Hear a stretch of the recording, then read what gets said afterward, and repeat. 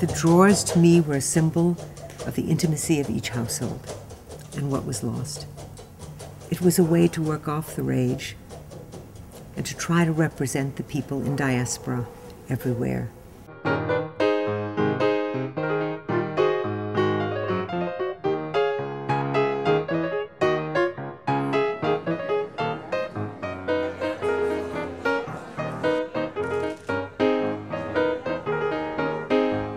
This one here. It was my grandmother's um, bedroom set, and I inherited it after she died. So she was really more like my mother. She raised me. And then this was like all I had left of her was her bedroom set. But it was like, I, I loved using it. Every time I was used it, it reminded me of her.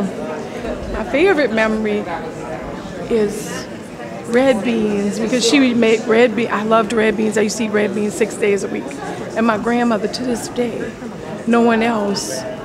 I, I have been trying to recreate her recipe, and it's just something simple as red beans, but I can't get that same taste, and I've never tasted it ever again. That's my favorite memory. You know, you get a lot of emotions because every drawer represents somebody and some person and some life, and you have so little that's concrete to remember people by, and remember your family and your family history.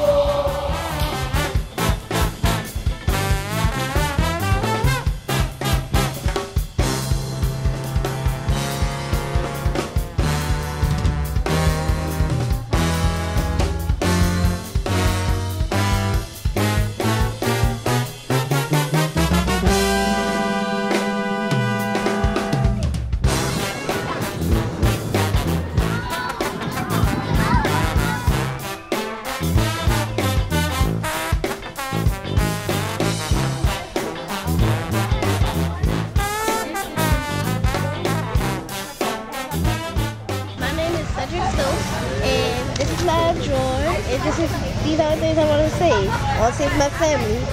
I like my